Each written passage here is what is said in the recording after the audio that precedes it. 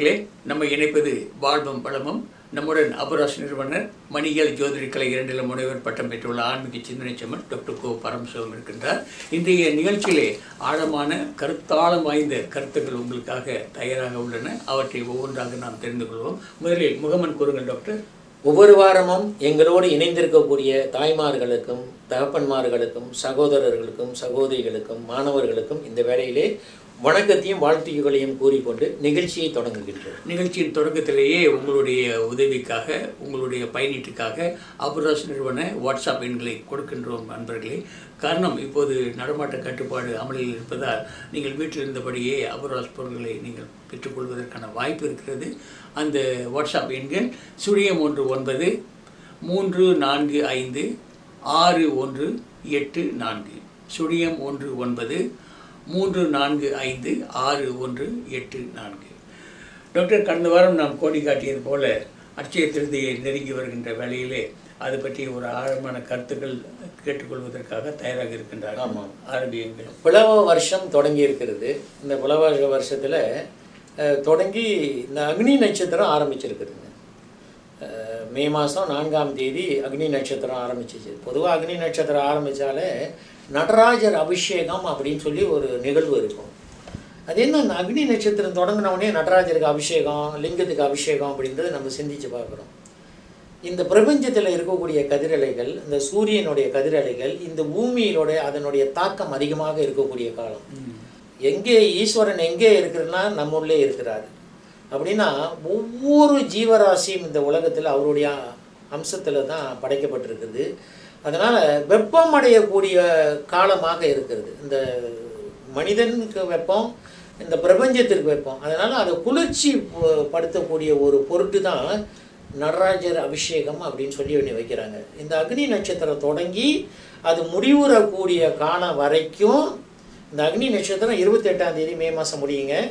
நான்காம் தேதி தொடங்கி இருபத்தெட்டு தேதி முடிகிற வரைக்கும் பல கோயில்களில் வந்து சிவபெருமானுக்கு வந்து அபிஷேகம் நடந்துக்கிட்டு இருக்கும். நடராஜராக இருந்தாலும் சரி லிங்கமாக இருந்தாலும் சரி ஜலதாரை தண்ணீர் அப்படியே ஒரு பாத்திரத்தில் வச்சு அந்த சொட்டு சொட்டாக நீர் விழுந்து அது குளிர்ச்சிப்படுத்திக்கிட்டு இருக்கும்.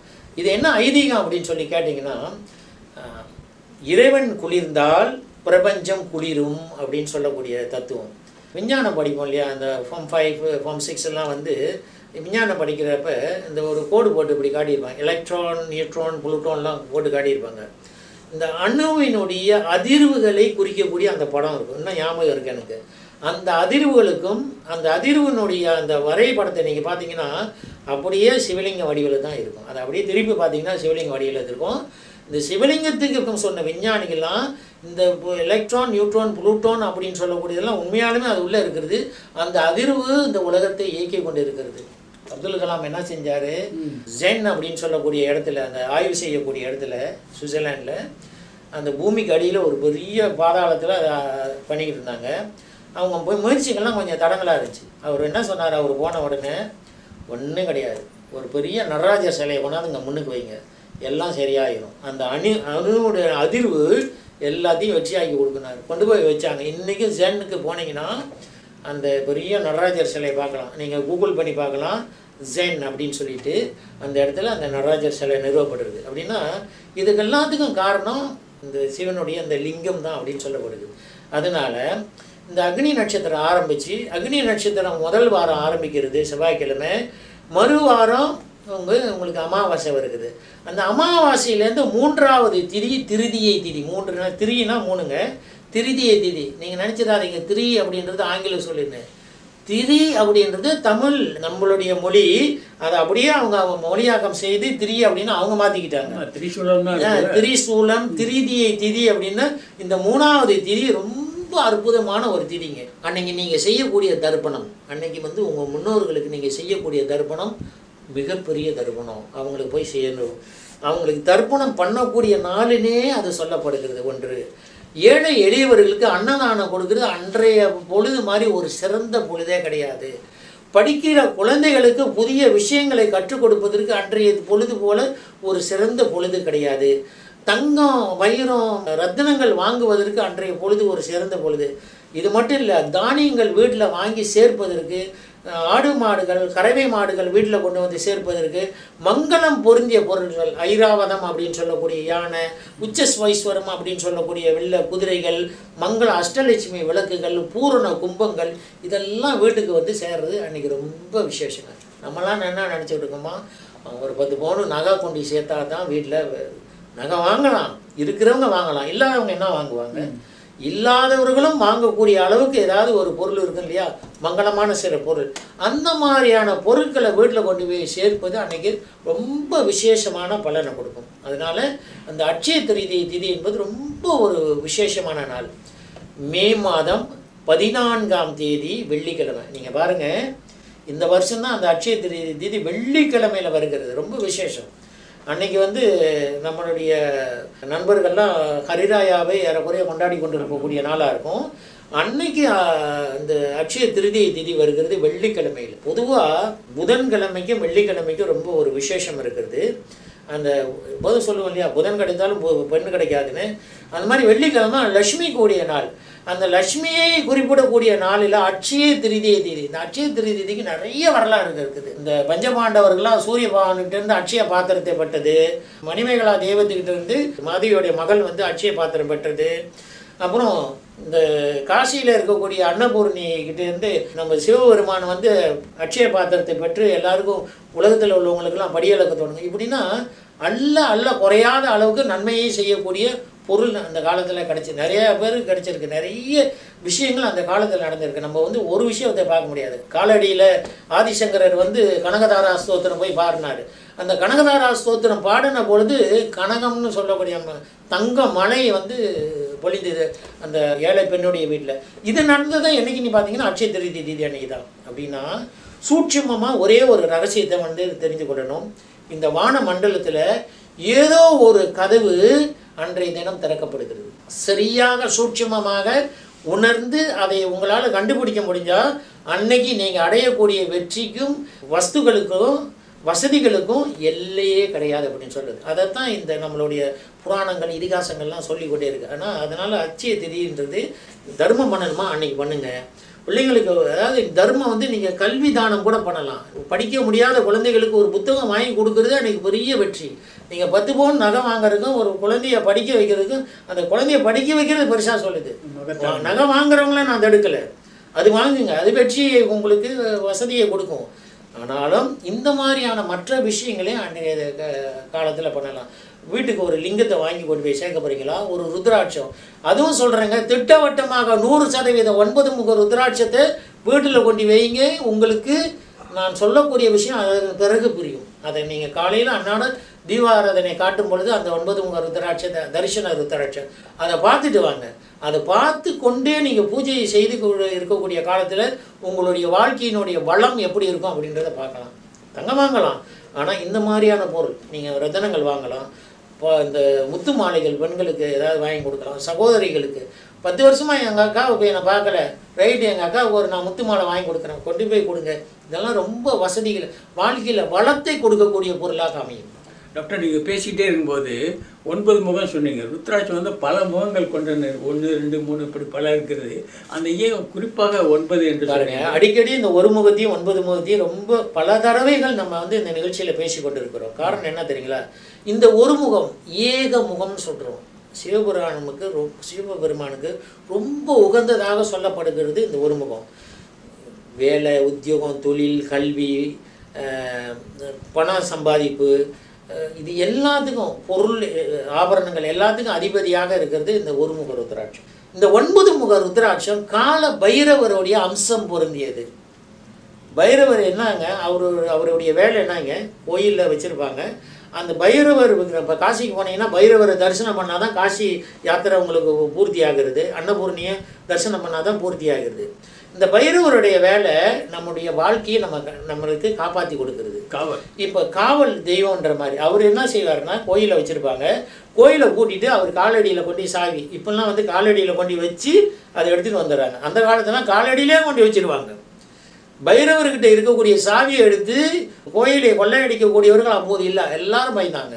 ஏன்னா பைரவர் வந்து அப்பொழுதே அந்த அவருடைய சூழலை காட்டி விடுவாராம். எல்லாருக்கும் அந்த குளமே விருத்தி அடையாமல் அழித்து விடுவார்ன்ற ஒரு பயம் இருந்துச்சு பைரவர் மேலே. அதனால் அந்த பைரவருடைய அம்சமாகிய ஒன்பது முக ருத்ராட்சம் வீட்டில் இருந்தால் உங்களுக்கு காவல் தெய்வமாக பைரவரே வீட்டில் இருக்கிறார் அப்படின்னு அர்த்தம். அதுதான் அந்த ருத்ராட்சத்தினுடைய மகிமை. அதனால் அந்த ஒ- ஒன்பது முக ருத்ராட்சம் நீங்கள் வந்து அட்சய திருதி திதி அன்னைக்கு வாங்கி கொண்டு போய் வீட்டில் வைக்கிறீங்க அப்படின்னா தங்கத்தில் கட்டி வாங்கி வைக்கலாம் வெள்ளியில் கட்டி வாங்கி வைக்கலாம்.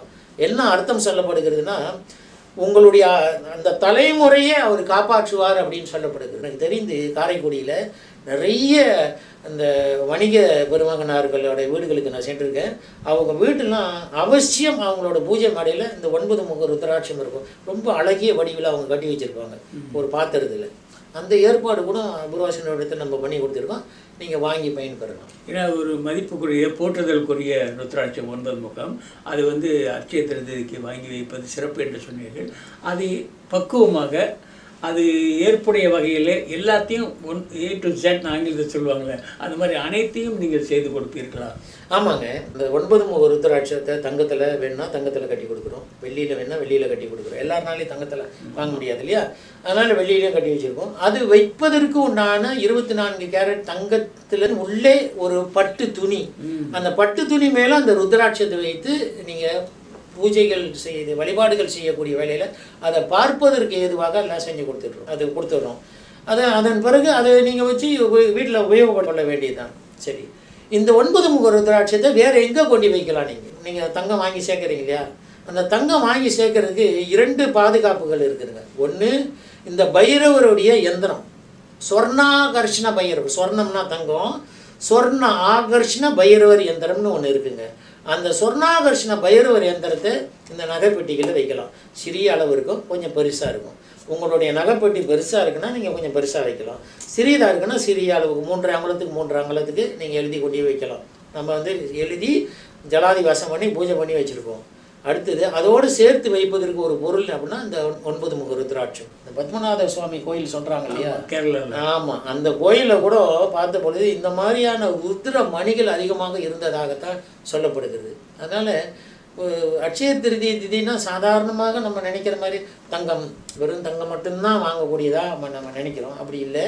நிறைய பொருள்கள்லாம் இருக்கிறது. நிறைய தர்மங்கள்லாம் இந்த காலகட்டத்தில் செய்யலாம் தர்ப்பணங்கள் செய்யலாம் ஏழை மாணவர்களுக்கு படிப்பதற்கு உண்டான கல்வி உதவியை செய்யலாம் அப்படின்லாம் சொல்லப்படுகிறது. அதுக்கு ஒரு குறிப்பிட்ட நேரம் இருக்கும் டாக்டர். ஒரு குறிப்பிட்ட நேரம் இருக்கும் ஆமாங்க அதுதானே முக்கியம். இந்த புத்தகத்தை பாருங்க எல்லாம் உத்திர காலாமிர்தம் அப்படின்னு சொல்லக்கூடிய புத்தகங்க. மகாகவி காளிதாசனால எழுதப்பட்ட நிறைய விஷயம். நீங்கள் வந்து திருமணமாகி பிறக்கக்கூடிய குழந்தை ஆணா பெண்ணா என்பதை நிர்ணயிக்கக்கூடிய ஒரு சந்தர்ப்பத்தையே உங்களுக்கு ஏற்படுத்தி கொடுத்துருக்கிறார். வீட்டுக்கு விளக்காகி எத்தனாவது நாளில் உடற்சேர்க்கை ஏற்பட்டால் அது ஆண் குழந்தையாக இருக்கும் அல்லது பெண் குழந்தையாக இருக்குன்றதுக்கெல்லாம் வழி சொல்லியிருக்கிறார். எப்படியாப்பட்ட அறிவியலுங்க? இப்போ இருக்கக்கூடிய அறிவியலையா அப்படியே தூக்கி விழுங்கக்கூடிய அளவுக்கு அறிவியலை வந்து நமக்கு அழகாக சொன்ன காவியங்கள் நிறைய இருக்குது. அப்படி இந்த உத்திர காலாமிர் தான் அப்படி சொல்லக்கூடிய புத்தகம். இந்த மகாகவி காளிதாசன் யார் தெரியுங்களா? சும்மா கா ஒரு கிராமத்தில் ஆடு மேய்த்து கொண்டு அவரை வந்து எல்லாரும் பார்த்து அவர் பரிகாசம் பண்ணினாங்க. மரத்தில் ஒரு கலையில் உட்காந்துக்கிட்டு அந்த கலையை வந்து அப்படியே கத்தியை கொண்டு வெட்டிக்கிட்டு இருந்தாராம். இவ்வளோ முட்டாளா மடையனாக இருக்கிறானே அப்படின்னு எல்லாருக்கும் திட்டி அவர் வந்து ரொம்ப வருந்தி போயிட்டு காளி தேவி முன்னால் போயிட்டு சொன்னாராம். எனக்கு வந்து அறிவையும் திறமையும் கொடுக்கலனா இந்த காளி ஸ்தலத்திலேயே நாக்கை அறுத்து கொண்டு நான் இறந்து போவேன் அப்படின்னு சொன்னார். காளி தேவி அவர் முன்னால் பிரசன்னமாகி அப்படியே தோன்றி மூக பஞ்சசதி அப்படின்னு சொல்லக்கூடிய மந்திரத்தை அவர் நாக்கில் எழுதினாங்க. அன்றைக்கு அவர் வந்து இந்த ஆற்றல் பெற்றார். உலகத்தில் யாரும் சாதிக்க முடியாத விஷயங்கள் திதிகள் நட்சத்திரங்கள் கோள்கள் கோள்களுடைய அசைவுகள் இந்த திருதியை திதி இந்த ம- மனிதனுக்கு வாழ்க்கையில் நடக்கக்கூடிய நாற்பது சம்ஸ்காரங்கள் வளைகாப்பு சீமந்தம் பும்சவனம் மற்ற ரத்தனங்களை பற்றிய விஷயங்கள் எல்லா விஷயங்களும் அரசியல்லேருந்து போர் தந்திரங்கள் வரைக்கும் அவர் வந்து பேசிட்டார். வாழ்வியல் வாழ்வியல் ரகசியங்களை அனைத்தையும் வந்து அவரால் ஒப்புவிக்க முடிஞ்சு. அதுதான் காளிதாசன். மகாகவி காளிதாசன். ஒரு படத்தில் கூட போடுவாங்க. யார் தருவார் இந்த அரியாசனம்? அப்படின்னு வந்து சிவாஜி பாடுற மாதிரி அந்த பாடல் வரும். அந்த அளவுக்கு அந்த காளிதாசனே அந்த உத்திர காலாமிர்தத்தில் முன்னூற்றி அறுபத்தி ஐந்தாவது பக்கத்தில் அட்சய திருதி திதியோடைய நியமத்தை சொல்லியிருக்கிறார். எப்படி நியமம்னா பகலில் ஒன்று பனிரெண்டுக்கு தொடங்கி மூன்று முப்பத்தாறு. இப்போ வெள்ளிக்கிழமை ஒன்று பனிரெண்டுலேருந்து மூன்று முப்பத்தி ஆறு வரைக்கும் அந்த திதி இருந்தால் அன்றைக்கு முழுமைக்கும். நல்லா கேளுங்க ஒன்று பனிரெண்டுலேருந்து மூன்று முப்பத்தி ஆறு வரைக்கும் அந்த திருதியை திதி சங்கமித்தால் அன்று முழுவதும் அட்சய திருதியாக கொல்லப்படுகிறது. சில ஆண்டுகளுக்கு முன்னால் நீங்கள் தான் ஒருத்தரை கூட்டிகிட்டு வந்தீங்க. தத்துவ சலாகுடீன் அப்படின்னு சொல்லக்கூடிய. இன்னும் என்னுடைய மனசில் நினைவாக இருக்கிறது. அந்த ஆன்மா எங்கே இருக்கிறதோ அந்த திசைக்கு நம்மளுடைய நமஸ்காரங்க. ரொம்ப அற்புதமாக அந்த மனிதர் வந்து சொன்ன கேட்டார். உண்மையாலுமே அட்சய திதி திதினா என்ன? டாக்டர் அதை விலைக்கு சொல்லணும். நீங்கள் உங்களுடைய நிகழ்ச்சியில் விலைக்கு சொல்லுங்கள் எங்கள் நிகழ்ச்சியில் அப்போ ஒரு டீன் ஜுவல்லர்ஸா அந்த டீன் ஜுவல்லர்ஸோட அதிபராக இருந்தார். அவர் கேட்டது எனக்கு அப்படியே மனசில் இன்னும் அப்படியே பசுமையாக இருக்குது. அவர் கேட்டு அவர் சொன்னார் எங்கள் நிகழ்ச்சியில் கூட நாங்கள் நீங்கள் அதை போட்டுக்கலாம். உங்களுக்கு ஆட்சி இல்லைன்னா சந்தோஷமாக போடுங்க. எனக்கு ரொம்ப சந்தோஷம் அப்படின்னு சொன்னேன். அந்த நிகழ்ச்சியில் இந்த இந்த விஷயத்தை நம்ம பதிவு செய்து கொடுத்தோம். அதாவது அட்சய திதி திதி இன்னைக்கு ஒரு நாளைக்கு தான் இருக்கும். நம்மளாம் நினைக்கிற மாதிரி அஞ்சு நாளைக்கு அட்சய தீதி போடு போட்டுட்டு ஐந்து நாட்களுக்கு அட்சய திதி தீதி இருக்கிறது அப்புறம் ரம்பா தீதி இருக்கிறது எல்லாம் சொல்லி நம்ம வியாபாரத்தை மட்டும்தான் விருத்தி செய்து கொண்டிருந்த காலம். ஆனால் அவர் மனிதங்க உண்மையே சொல்லுங்க டாக்டர். நிறைய பேர் இருக்கிறாங்க. நான் போய் கேட்கல. உங்களை வந்து கேட்குறதுக்கு என்ன தெரியுங்களா காரணம்? நீங்கள் உண்மையே சொல்வீர்கள் அப்படின்றது. அதான் நீங்கள் தானே கூட வந்தீங்க. இடையூறுக்கு மன்னிக்கணுங்க நிறைய கருத்து வேறுபாடுகள். அவங்கவுங்க விருப்பத்துக்கு ஒன்று சொல்லிட்டு இருந்தாங்க. அப்போ நான் சொன்னேன் உங்களுக்கு விளக்க வேணுமா வாங்க அப்படின்னு கூப்பிட்டு வந்தேன். அந்த நம்பிக்கையோட வந்து தான் உங்களை கேட்டார். சரி. இன்னும் அது மனசுல எனக்கு அதாவது அவ்வளோ ஒரு பெரிய மனுஷன். எனக்கு அவர் யாருன்னு தெரியாது. காலையில வந்து உட்கார்ந்துருந்தாரு. யாரோ வந்திருக்காங்க போல இருக்கு. என்ன என்ன வேணும் கேட்டேன். இல்லை இந்த மாதிரி ஒரு விஷயமா வந்திருக்கேன். அப்படின்னு தான் நான் சிந்திச்சு ஓ நீங்கள் தானா சரி அவர் சொன்னார் நான் என் பேர் டத்தோ சலாபுதீன் அப்படின்னாரு. ரொம்ப ஆச்சரியம். ஆனால் அவர் சொன்னது அதே மாதிரி அவங்க நிகழ்ச்சியில் எல்லாத்துலேயும் நம்ம பேசின விஷயங்களை அப்படியே அந்த எடிட் ஒளிப்பதிவு ஒளிப்பதிவு பண்ணி அவங்க போட்டாங்க. மிகப்பெரிய வெற்றியாக இருந்துச்சு. அதுக்கப்புறம் தாங்க அந்த அட்சய திருதி திதியினுடைய தாக்கம் மலேசிய மண்ணில் வந்து மிக வேரூன்றி பதிந்தது. நல்ல ஆழமாக எல்லாரும் மனசுலையும் பதிஞ்சு எல்லாரும் வந்து மங்களமான பொருள் வாங்க ஆரம்பிச்சாங்க. பொருளே வாங்க முடியாது. உப்பாவது வீட்டில் உப்பு ஒரு ஐம்பது காசு உப்பாவது அன்னைக்கு கொண்டு போய் வீட்டில் சேர்த்தார்கள். இதெல்லாம் இந்த நம்ம மக்கள் இடத்துல பரவ ஆரம்பிது அதுக்கு பிறகு தான் நான் பார்க்குறேன் நம்மவர்கள்லாம் நிறைய செழுமையாக இருக்கிறார்கள் வசதியாக இருக்கிறார்கள். தங்கம் மட்டும்தான் வாங்கினில்ல மற்ற எல்லா பொருளும் வாங்கலாம். அதான் அட்சய திதி. அப்படின்னா அட்சய திதி திதி இந்த வெள்ளிக்கிழமை அன்னைக்கு பதினான்காம் தேதி மே மாதம் ஒன்று பனிரெண்டுலேருந்து மூன்று முப்பத்தி ஆறு வரைக்கும் திட்டவட்டமாக அந்த திதி இருக்கிறது. அப்படியானால் அன்றைக்கு தான் முழுமையும் திருதியை திதி இருக்குது. அன்றைக்கு காலை தொடங்கி இரவு வரைக்கும் பொருட்கள் வாங்கி கொண்டு போய் வீட்டுக்கு சேர்ப்பதற்கு மங்களமான விஷயங்களை பிரயோகம் செய்வதற்கு மிகச்சிறந்த நாள். அத்துடன் அந்த முன்னோர்களுக்கு அஹ், ஆமா தர்ப்பணம். முன்னோர்கள் இல்லாமல் இன்னோர்கள் வந்தது இல்லையா நம்மெல்லாம் வந்தது இல்லையா அதனால அந்த முன்னோர்களுக்கு செய்யக்கூடியது. நம்ம வந்து சிந்திக்கணுங்க. நம்ம வந்து இந்த தர்ப்பணம் பண்றோம் இல்லையா? அந்த தர்ப்பணத்திலேயே நீங்க அடிப்படையை பாருங்க. செஞ்சுட்டு அந்த பொருளை எங்கே கொண்டு விடுறோம்? தண்ணியில் கொண்டு விடணும்னு சொல்லுவாங்க. காகத்துக்கு சாப்பாடு வைங்க அப்படின்னு சொல்லுவாங்க. அப்படின்னா பறக்க பறக்கக்கூடிய பறவைகள் நீரில் வாழக்கூடிய உயிரினங்கள் மனிதர்கள் தேவர்கள் கணங்கள் எல்லாருக்கும் ஐந்து வகையான உயிர் வாழ் ஜீவராசிகளுக்கும் அது போய் சேருகிறது. அப்படின்னா அந்த அந்த தர்ப்பணம் என்பது அந்த ஆன்மா எந்த ரூபத்தில் இருந்தாலும் அவர்களை போய் சென்றடையும். லண்டனுக்கு பணம் அனுப்பணும்னா நீங்கள் மலேசியா ரிங்கிட் அனுப்பலையே. நீங்கள் மலேசியா ரிங்கிட் அனுப்புறீங்க அங்கே லண்டன் பவுண்டில் தானே போய் கிடைக்கிறது. அது அப்படியே கன்வர்ஷன் அப்படியே மாற்றம் செய்து தானே கிடைக்கிது. அதே மாதிரி நீங்கள் கொடுக்குற தர்ப்பணம் எந்த பிரபஞ்சத்தில் எந்த டைமென்ஷன் சொல்கிறோம்ல ஆங்கிலத்தில் எங்கே இருக்காங்களோ அங்கே கண்டிப்பாக திட்டவட்டமாக போய் சேரும். அதுதான் தர்ப்பணம். அதனால் அந்த தர்ப்பணம் என்பது அன்னைக்கு திருதியை திதி அன்னைக்கு செய்வது உத்தமம். அப்படின்னு சொல்லப்படுது. நிறைய தகவல்கள் நம்முடைய அன்பான நேயர்கள் புரிந்து கொண்டிருப்பார்கள் என்று நம்புகின்றோம். அட்சய திருதியை அடுத்த மாதம் மே பதினான்காம் தேதி பிற்பகல் ஒன்று பன்னிரெண்டு தொடங்கி மூன்று முப்பத்தாறு வரை அந்த நல்ல நேரம் இருக்குது திதி இருக்கிறது. ஆனா அன்னைக்கு முழுமைக்கும் பொருள் வாங்கலாம். ஏற்புடையது. ஆ, முழுமைக்கும் அன்னைக்கு அர்த்திய திருதியை திதி இருக்குது. நீங்க நினைச்சதாங்க அந்த அந்த இரண்டு மணி நேரம் தான். அந்த அந்த ரெண்டு மணி நேரம் அந்த திதி இருந்தா அன்னைக்கு முழுமையும் திருதி திதியாக கொல்லப்படுகிறது சரி நன்றி. வாட்ஸ்அப் எண்களை மீண்டும் நினைவுபடுத்துகின்றோம். அவர் வாட்ஸ்அப் எண் சுழியம் ஒன்று ஒன்பது மூன்று நான்கு ஐந்து ஆறு ஒன்று எட்டு நான்கு. வீட்டில் இருந்தபடியே பொருட்களை அளிப்பானை செய்யலாம். ச டாக்டர் கோடி காட்டினார் இந்த அட்சய திருதிக்கு ஒன்பது முக ருத்ராட்சம். அதையும் உங்களுடைய கவனத்தில் வைத்துக் கொள்ளுங்கள் என்று சொல்லி விடைபெறுவோம். இதுவரை தகவல்களை பதிவு செய்தவர் மணியியல் ஜோதிடக்கலை இரண்டிலும் முனைவர் பட்டம் பெற்ற ஆன்மீக சிந்தனை செம்மல் அபுராஜ் நிறுவனர் உரிமையாளர் டாக்டர் கோபரம் பரமசிவம் வணக்கம் டாக்டர். நன்றி.